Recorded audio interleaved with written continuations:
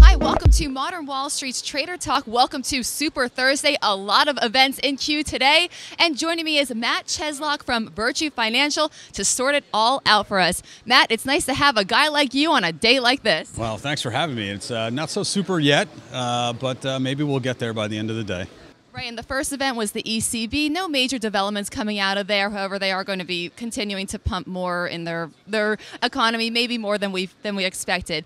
Now, Comey is testifying right now, and we have the UK election. Two related events have caused major market mix-ups before. So, what developments are you looking out for? Well, you know, the ECB, actually, to go back to them a little bit, they had some interesting um, things to work out over the last couple of days. The bank failure in, in uh, Spain yesterday, uh, and then one where they bailed out uh, one in Italy. Maybe not the ECB themselves, but these are two banks that are failing here. So that's something to keep an eye on. That, that's really getting overlooked or maybe brushed under the rug. So I'm really going to keep my eye on the financial um, uh, banks that are in the under the ECB domain. So um, I think that's more important. It didn't move the market yet. Uh, but what happens if a bigger one goes? So go back to your second point. Um, with uh, the Comey testimony and what we expect tonight out of uh, Britain. Uh, right now, the Comey testimony has been underwhelming as far as market-moving events. Uh, we got testimony out of him yesterday, the uh, the early transcripts, and nothing was a surprise. And I think as long as that continues and nothing gets rattled in the live testimony, the market's really in showing you that we're not really. It's not really a factor. And you make a very good point there about Draghi. He did decline to comment on the banks, correct? Uh, yes, for now. I, th- I, I think because it's so it's uh, so early in these stages, uh, and I don't think he wants to scare anyone, but it does bear watching. Um, you know, you never like to see bank failures. Sure, absolutely. Okay, well, we will watch out for that. Now, like you said, it isn't so super so far today, but a lot of investors are on the edge of their seats, and not necessarily in a bad way, but perhaps there's going to be some nice points of entry if we do see a significant tumble today. So, what would you recommend as a comfort, comfortable pullback to start entering into the market if we miss the past seven months?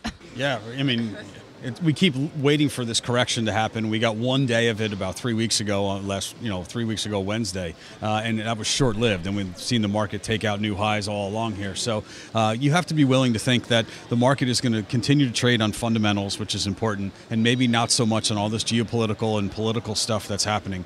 Um, you know, oil would be the one uh, other sector that I would really watch here uh, because I think that could be the next sector that takes us to a higher level if we get some clarity in it. Uh, now we have some concerns about OPEC and, and the strength of their of the cartel uh, with what's going on in Qatar.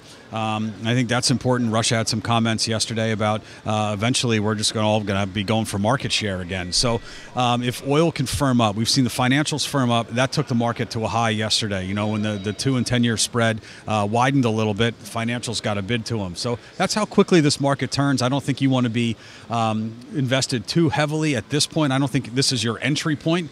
Uh, but on pullbacks, I think you probably still can can dollar cost average or get in, start legging into positions. Uh, at least right now, that the underpinnings of the market are, are fairly solid. And you mentioned energy. Any other sectors you like, like semiconductors? That's been a that's been a hot one recently. Yeah, I mean they've been acting super. You know, they had their their hiccup, you know, back in February, you know, March, and they've been on fire again. Uh, the and and the technology, uh, you know, we saw Alibaba today. You know, they had uh, re- report great forward looking. Um, you know outlook and that stock has performed pretty well and that's been under the radar it hasn't been in amazon it hasn't been in facebook you know it hasn't been one of the big ones but it's one of the largest companies out there in that space and now that's getting the love so um, while we're not seeing sell-offs in apple and facebook we're seeing the buy side go right to Alibaba. So that's what happens in these sectors. Um, you know, retail had some good news today. You know, Nordstrom, if they're going private, that had a huge uptick. So there's some underpinnings of this market that are acting pretty well, and you just have to be able to be nimble enough to, to trade in them.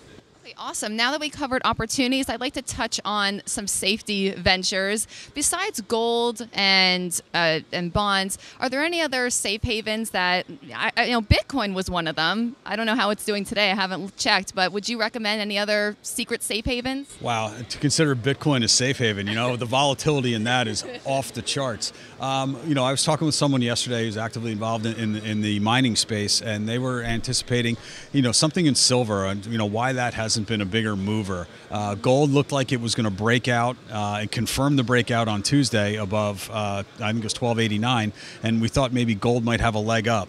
Uh, the gold trade is a little conflicted because we have the GDXJ rebalance next Friday, so that trade is it's much bigger picture than just gold. Uh, but but silver may be something that's has industrial properties um, and you know some big investors in the silver space, so that would be something maybe to keep an eye on.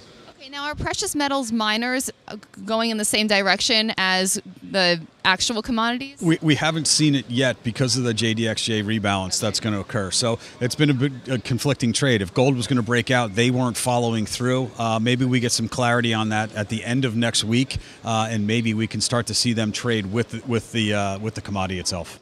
Yeah, that, that's very interesting. Okay, Matt, well, thank you for giving us some clarity for the future and today. We always love to have you on the show. Very popular with our viewers. Thank you. Well, thank you very much. Glad to be here. This is the Voz on location reporting live from the New York Stock Exchange.